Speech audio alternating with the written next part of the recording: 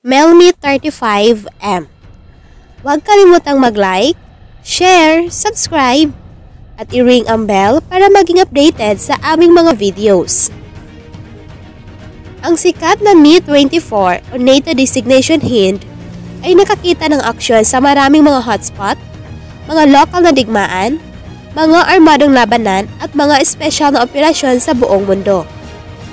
Sa kabila ng edad nito, ang MI-24 ay nanatiling nasa serbisyo na may hindi bababa sa 50 air arm. Ginawa ng Mi-24 ang pangalan nito para sa pagiging madali at murang mapanatili. Ang helicopter na ito ay napatunayang maaasahan din. Gayunpaman, kinakailangan ang pagsasaayos, pag-upgrade, at modernisasyon upang mapanatiling gumagana ang mga luma ng gunship na ito. Lalo na ang mga electronics nito ay ang kailangan mapabuti upang matugunan ang mga modernong pangangailangan at pagiging mapagkumpetensya sa modernong pagkikidigma. Ang na-upgrade na Mi-35M Western Departing Name Head E ay unang ipinahayag noong 1999. Ito ay isang export na version ng Mi-24VM. Ang helicopter na ito ay nilaan labang para sa pag-export. Ipinakilala ng Bell Helicopter Plant ang isang mas modernong Mi-28 noong 1990s. Gayon pa man, maraming mga bansa, kabilang ang Russia ay hindi maaring palitan ang kanilang tumatanda na fleet na Mi-24 attack helicopter dahil sa mga problema sa pagpupondo. Kaya, nagpapatuloy ang pagsasaayos at paggawa ng mga helicopter gaya ng Mi-35M. Ang produksyon ng Mi-35M ay nagsimula noong 2005. Ang attack helicopter na ito at derivatives ay nasa serbisyo sa Azerbaijan 24, Brazil 12, Iraq 24, Venezuela 8 at posibleng ilang iba pang mga bansa. Ang pangunahing papel ng helicopter na ito ay ang pagsira ng mga armored vehicle, tropa ng kaaway, UAV, at iba pa ang helicopter. Ang pangalawang tungkulin nito ay ang paghahatid ng mga tropa at espesyal na kargamento, paglikas ng mga nasugatan. Maari itong gumana sa gabi at sa masamang kondisyon ng panahon. Ang Mi-35M ay may ilang mga pagpapabuti. Ito ay naiiba sa pangunahing modelo sa pamamagitan ng pangunahing rotor system ng Mi-28 at X-shaped tail rotor. Ang fiberglass blades ng pangunahing rotor ay may bagong aerodynamic profile. Ang mga ito ay mas magaan, ngunit mas malakas dahil sa mga detalye ng titanium. Ang helicopter ay mayroon ding na-upgrade na turboshaft engine. Ang pagganap ng flight gaya ng altitude at kadaliang mapagkilos ay napabuti dahil sa mga pagbabagong ito. Ang mga pakpak ng stop ay pinaikli upang mabawasan ang timbang. Ang mga pakpak ay may bilang na mga hard point para sa mga armas at iba pang gamit. Ang electronic core ng helicopter ay sumailalim sa mga pangunahing pagbabago. Ang isang buong spectrum ng mga bagong electronic system ay pinagtibay sa sabungan. Ang Mi-35M ay nilagyan ng na-upgrade na avionics at pinahusay na sensor package, kabilang ang night vision system. Nilagyan din ng helicopter ng electro-optical rangefinder o targeting system na may thermal imaging guidance channel, satellite positioning, at navigation system, electronic multifunction display, onboard computer at bagong henerasyong jump-proof na kagamitan sa komunikasyon. Ang attack helicopter na ito ay maaring magdala ng iba't ibang mga armas, kabilang ang mga padded na baril, walong mas lumang Storm V o mas bagong Ataka V, Antok missiles, Egla V air-to-air missiles, hindi ginagabayan ng mga rocket o bomba. Ang armament ay nakasalalay sa mga kinakailangan ng customer. Nilagyan ang nose turret na G SH-231-23mm twin barrel cannon. Ang sabungan at mahahalagang bahagi ng helicopter na ito ay magkabuluhang na kabaluti. Ang Mi-35M ay may kapasidad na payload ng isang whopping 2,400 kilograms. Maari itong magdala ng buong infantry squad ng walong fully equipped troops. Ginagawa ng feature na ito na kakaiba ang helicopter na ito kumpara sa mga western attack helicopter. Ang isang malaking kalibre ng machine gun pati na rin ang mga general purpose machine gun ay maaring ma-install sa cargo cabin. Ang landing gear ng Mi-35M ay hindi na maaring iurong. Binawasan nito ang kabuang bigat ng helicopter. Gayon din sa kaso ng pag-crash ang landing gear ay sumisip-sip ng ilan sa enerhiya. Ito ay nagkakahalaga ng pagbanggit na ang ibang mga bansa ay nag-aalok din ng kanilang inayos at na-upgrade na mga version ng Mi-24 hand na may modernong avionics, armas, makina, at kakayahan sa pagpapatakbo sa gabi. Ang kumpanya sa South Africa na Advanced Technologies and Engineering ay nagmumungkahi ng kanilang Super Hin upgrade program. Tinatayang 1,500 hins ang nanatili sa serbisyo, kaya ang merkado para sa mga upgrade ay nanatiling malaki. Mi-35M1 Baseline Night Attack na version na-update na version ng Mi-35M2 para sa mga hukbo ng Venezuela. Nilagyan ito ng mga makina ng VK-2500 para sa mga operasyon sa mataas na altitude. Mi-35M3 na version na may na-update na avionics. Pinahusay nito ang kakayahan sa pagpapatakbo sa gabi. Kasama sa mga sandata ng gunship na ito ang Ataka V, Shutor V at Igla V missiles mayroon ding 23mm na canyon. Ang ilang mga pagbabago ay ginawa upang mapataas ang cycle ng buhay at pasimplihin ang pagpapanatili. Mi-35M4 kilala rin bilang AH-2 Saber. Ito ay isang na-update na version na may Israeli avionics para sa Brazilian Air Force. Noong 2009, nag-order ang Brazil ng labing dalawa sa mga helicopter na ito. Dumating ang unang batch sa parihong taon at natapos ang mga paghahatid noong 2014. Nahaharap ang militar ng Brazil sa mga isyu sa maintenance at spare parts sa mga helicopter na ito. Inihayag na ang Brazilian AH-2 Sabir helicopter ay magretero sa 2022. Ang Mi-35MS ay isang VIP transport helicopter na may pinahusay na command, control, at mga kakayahan sa komunikasyon. Ito ay inilaan upang dalhin ang utos ng militar ng Russia. Ang helicopter na ito ay walang dalang armas. Noong 2014, naiulat na tatlo sa mga helicopter na ito ang itatayo. Ang Mi-24 ay isang malaking helicopter gunship, attack helicopter, at low-capacity troop transport na may puwang para sa walong pasahero. Ito ay ginawa ng Mel Moscow Helicopter Plant at pinatatakbo mula noong 1972 ng Soviet Air Force at mga kahalili nito kasama ang 48 at iba pang mga bansa. Sa mga bilog ng NATO, ang mga version ng pag-export Mi-25 at Mi-35 ay tinutukoy ng isang titik na suffix bilang hand D at hand E. Tinatawag ng mga piloto ng Soviet ang Mi-24 na flying tank. Isang terminong ginamit sa kasaysayan sa sikat na World War II Soviet II Sudovormovic Armored Ground Attack Aircraft. Ang mas karaniwang hindi opisyal na mga palayaw ay Galina o Galia o kaya Crocodile crocodile dahil sa camouflage scheme ng helicopter. At drinking glass o Russian Romanized takan dahil sa mga flat glass plate na nakapalibot sa mga naunang sabungan ng variant ng Mi-24.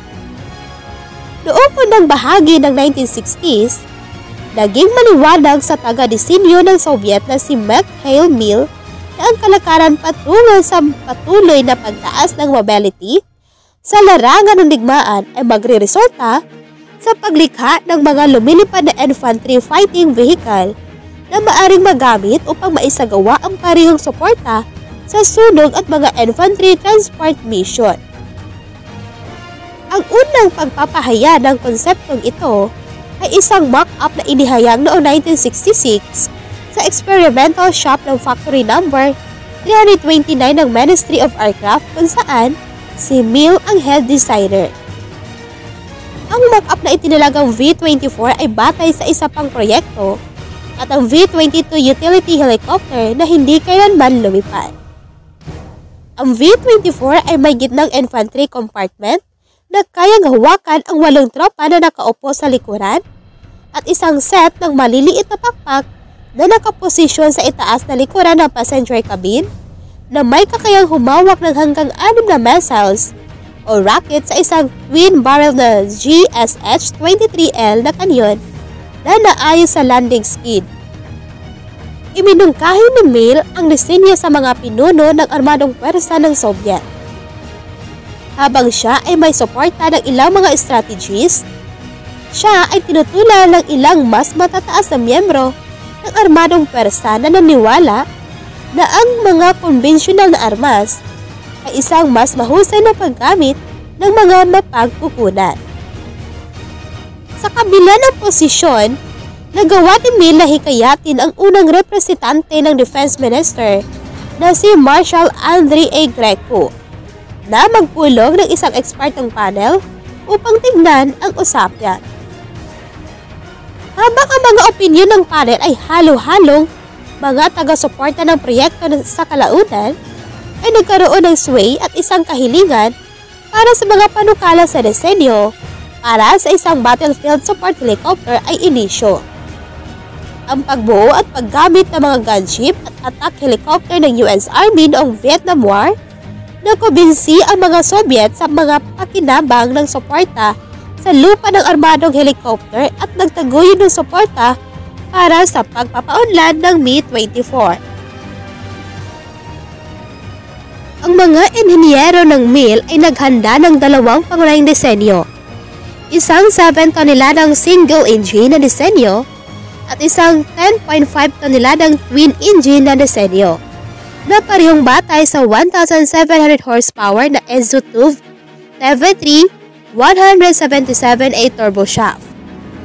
Nang maglaon, tatlong kumpletong mock-up ang ginawa, kasama ang limang mock-up sa sabungan upang payagan ang mga posisyon ng operator ng piloto at istasyon ng armas na maayos. Ang Kamove Design Borinho ay nagmungkahi ng isang Army version ng kanilang KA-25 ASW helicopter bilang isang murang opsyon. Isinaalang-alang ito, ngunit kalaunan ay bumagsak pabor sa bagong disenyo ng Mill Twin Engine. Ang isang bilang ng mga pagbabago ay ginawa sa paggigiit ng militar. Kabilang ang pagpapalit ng 23mm na kanyon na may mabilis na sunog na heavy machine gun na nakamount sa isang shin turret at ang paggamit ng 9K114 Shutorm 86 Spiral anti-missile ng tangke. Isang direktiba ang nilabas noong May 6, 1968 upang magpatuloy sa pagbuo ng disenyo ng twin engine. Nagpatuloy ang trabaho sa ilalim ni Mel hanggang sa kanyang kamatayan noong 1970. Nagsimula ang detalyadong disenyo ng trabaho noong August 96 sa ilalim ng codename na Yellow 24. Ang isang buong sukat na mock-up ng disenyo ay sinuri at naaprubahan noong February 1969. Nagsimula ang mga pagsubok sa paglipad na may prototype noong September 15, 1969 na may nakatheater na hover at pagkaraan ng apat na araw ay isinagawa ang unang libreng paglipad. Isang pangalawang prototype ang ginawa na sinunda ng isang test batch ng sampung helicopter. Ang pagsubok sa pagtanggap para sa disenyo ay nagsimula noong June 1970 na nagpapatuloy sa loob ng labing walong buwan. Ang mga pagbabagong ginawa sa disenyo ay tumugon sa lakas ng istruktura, mga problema, sa pagkapagod at mga antas ng panginginig ng boses.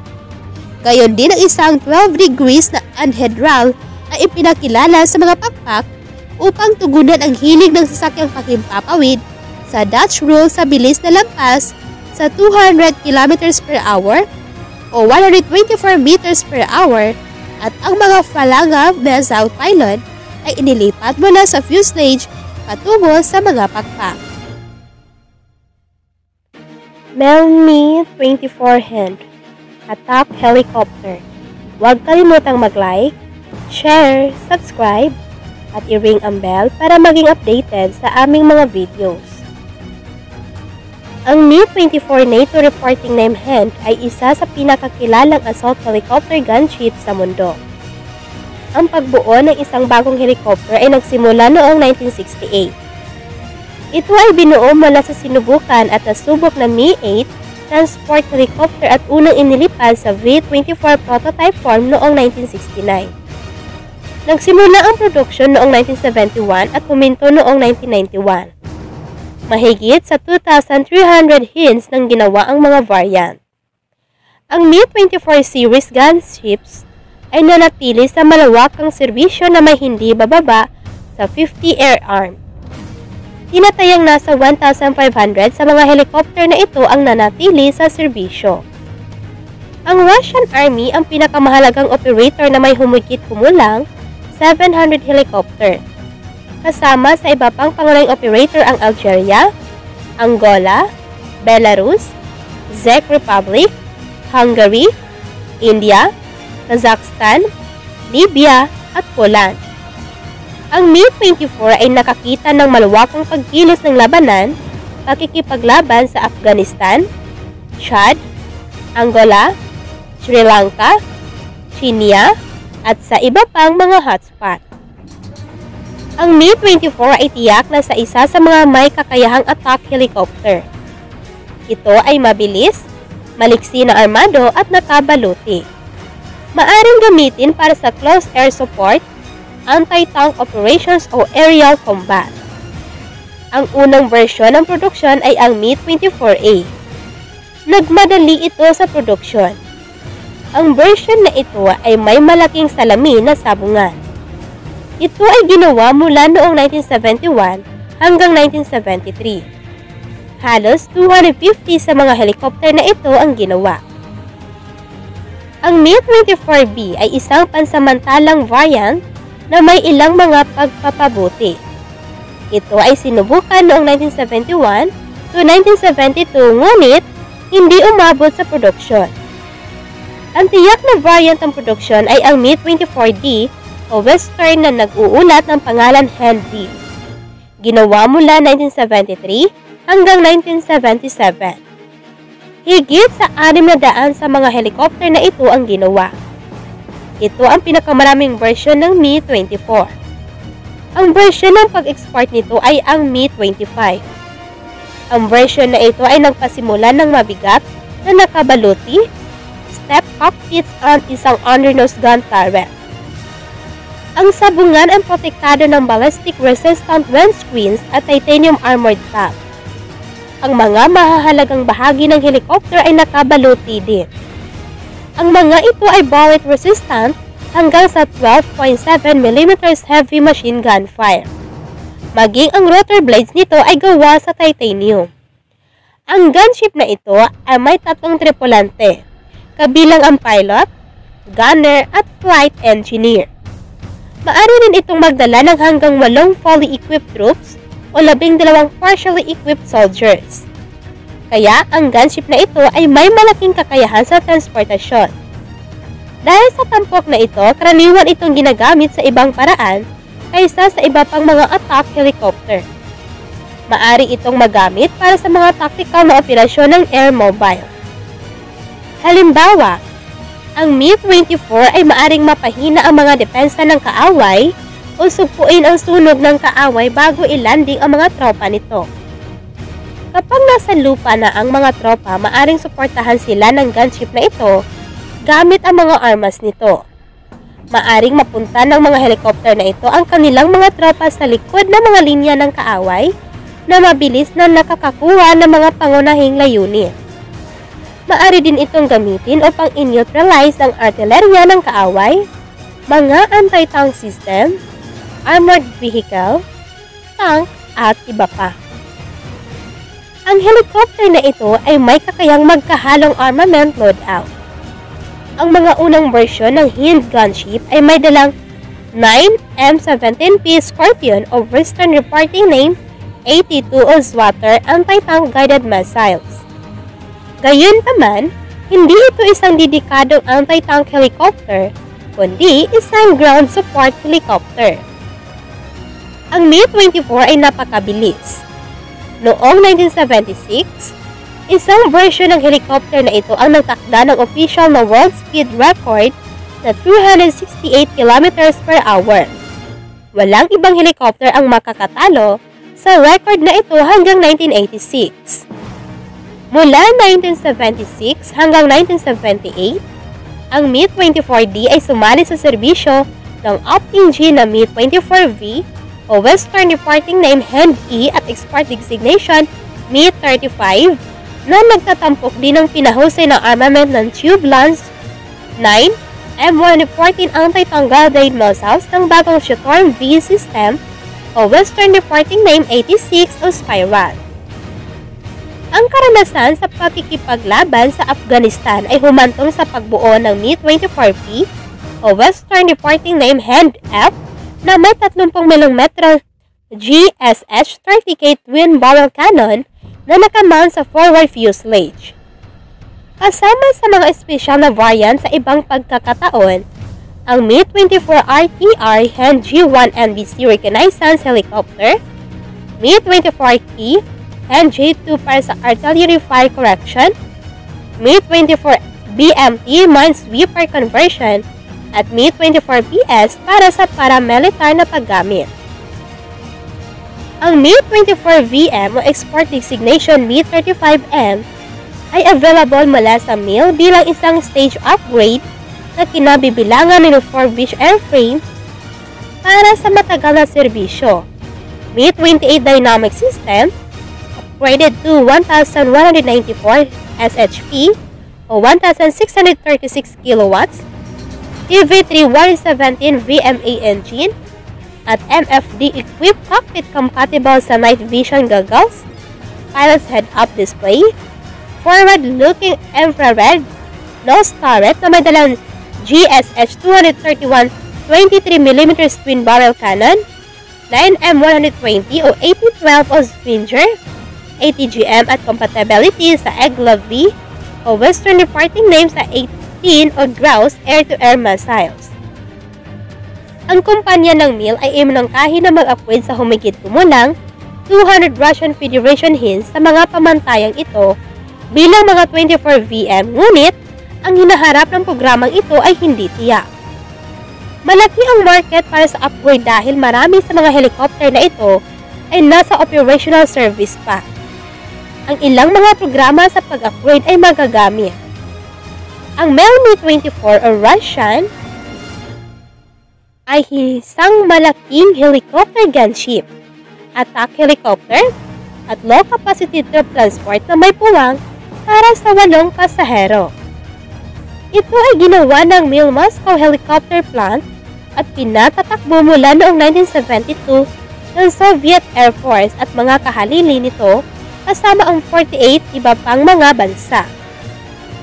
Sa mga bilog ng NATO, ang mga version ng pag-export, Mi-25 at Mi-35, ay tinutukoy ng isang titik na suffix bilang hand D at hand E. Tinatawag ng mga piloto ng Soviet ang Mi-24 na flying tank. At ito ay isang terminong ginamit sa kasaysayan sa sikat na World War II Soviet Second tools Shuntomorvek Armored Ground Attack Aircraft. Ang mas karaniwang hindi opisyal na mga palayaw ay galena o galia o crocodile. At dahil sa camouflage scheme ng helicopter at drinking glass, dahil sa mga flat glass plate na nakapalibot, sa mga naunang sabungan ng variant ng Mi-24. Noong unang bahagi ng 1960s, naging maliwanag sa Targa disenyo ng Soviet na si Mikhail Mil na ang kalakaran patungo sa patuloy na pagtaas ng mobility sa larangan ng digmaan ay magre-resulta sa paglikha ng mga lumilipad na infantry fighting vehicle na maaring magamit upang maisagawa ang parehong suporta sa sunog at mga infantry transport mission.